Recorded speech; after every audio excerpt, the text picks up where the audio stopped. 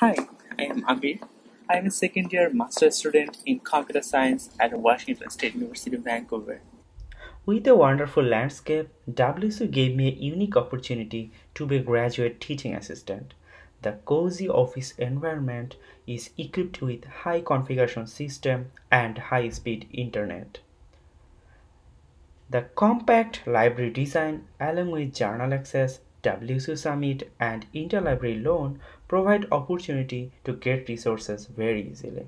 Fitness Center for physical improvement, Student Service Center for career and personal development, Health Center for counseling and physical illness, student club activities posted on notice board, Firstenburg Student Commons for hosting different events, and after all, campus police for security.